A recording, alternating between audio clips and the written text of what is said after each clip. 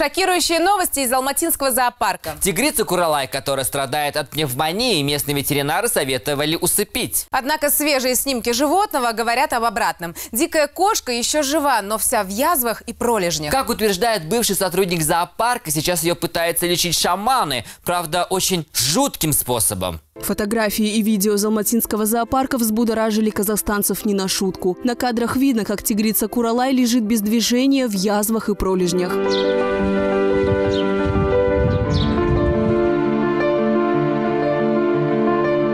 Разобраться в причинах случившегося. А в этот момент неравнодушные граждане уже собирались у главного входа в зоопарк. Актер Нуртас Адамбаев в своем инстаграм-профайле также решил кинуть клич. В итоге около 30 человек пикировали местную администрацию. Реально сделать, как-то помочь, то, наверное, все-таки надо да, поднять свою там пятую точку с дивана да, и пойти и на самом деле попытаться там разобраться.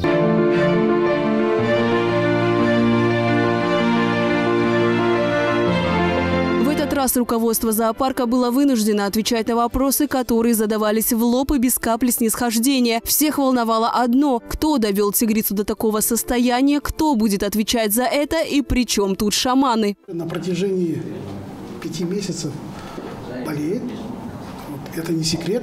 Ситуация стабильно тяжелая. Я думаю, что это рецидив прошлогодней вот, болезни. На вопрос, почему больное обездвиженное животное до сих пор не усыпили, мы услышали воодушевляющий ответ. Взять на себя ответственность усыпить тигрицу вот, не могу.